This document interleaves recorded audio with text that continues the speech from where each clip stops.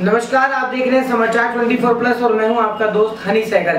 अगर बात करें हज़ारों साल के चल रहे मुद्दे राम मंदिर की मेरे साथ मौजूद है बहुत ही वरिष्ठ आम आदमी पार्टी के उपाध्यक्ष तुगलकाबाद विधानसभा से अशोक शर्मा जी। अशोक जी सबसे पहले बहुत बहुत स्वागत। बहुत बहुत धन्यवाद आपका भाई साहब। अशोक जी सबसे बड़ा सवाल हज़ारों साल चल रहा मुद्दा पूरा हो गया राम मंदिर और क्रेडिट पूरा का पूरा भारतीय जनता पार्टी प्रधानमंत्री नरेंद्र मोदी की तरफ़ जाता है। नरेंद्र मोदी जी जो हैं, हमारे प्रधानमंत्री जी हैं, जो सीट पर होगा, उसका नाम होगा। आज प्रधानमंत्री जी हैं तो वो आएँगे। लेकिन मैं एक चीज़ ये कहना चाहता हूँ कि क्या खाली अकेले प्रधानमंत्री जी हैं जो राम मंदिर को बनाना चाहते हैं?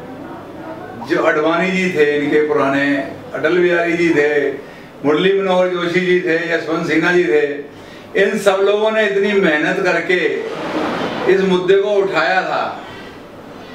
उस मुद्दे के ऊपर मोदी जी कहीं दिखाई नहीं देते थे उस टाइम आज अकेले मैं मोदी जी जी को देख रहा हूँ पूजा हो रही है तो अकेले मोदी जी। क्या इन वरिष्ठ जो इनके पूरे लोग हैं गुरु जी हैं इनके मोदी जी के गुरु हैं अडवाणी जी क्या इन लोगों को बुलाना इनका फ़र्ज़ नहीं था? पैर पकड़ के लाते कैसे भी लाते। इन लोगों ने इतनी मेहनत करी है मार खाई है जेल में भी गए हैं लोग क्या मोदी अकेले जीत के ले आए क्या? बीजेपी अकेली जीत के ले आई क्या? ये हमारे कोर्ट का फैसला है, कानून का फैसला है। हमारी राजनीति पुरानी हमारी धरोहर है। पुरखों की धरोहर है राम मंदिर। राम कोई किसी के बाप का नहीं है, राम मंदिर सबका है, राम सबका है।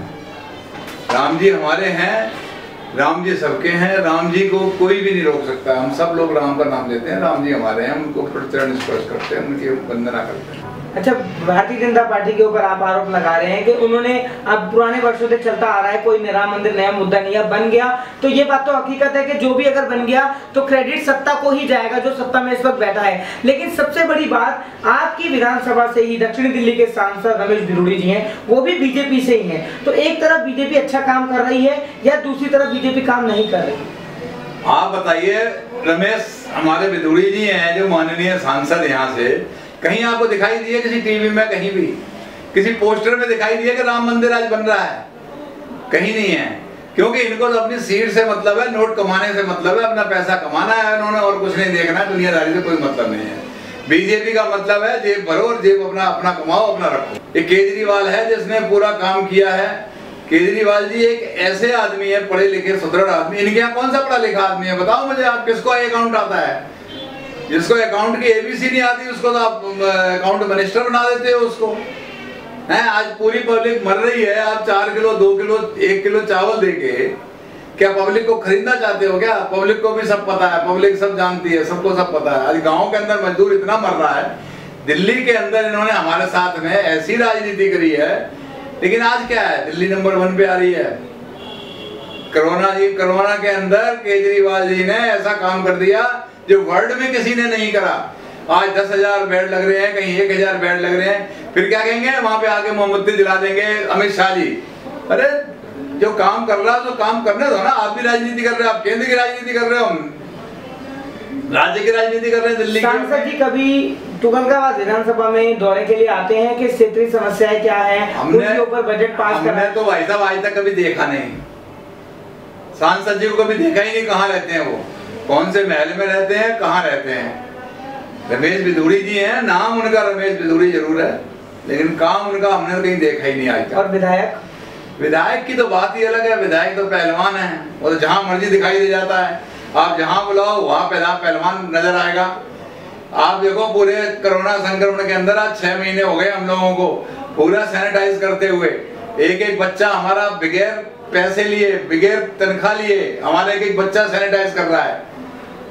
देवेंद्र जैसे अपना देवेंद्र कुमार है जीतू बढ़ाना है महिपाल है ये सब लोग अपने हमारे बच्चे बगैर पैसे से अपने अपने पैसे लगा के सैनिटाइजिंग के अपनी मरना केमिकल ला के सारे अपने लोग लगा रहे हैं। और हमारी दिल्ली सरकार की जल बोर्ड की जो हमारी बड़ी बड़ी जो मशीनें हैं उन्होंने पूरी पूरी जगह पे सैनिटाइज किया हुआ है उनको।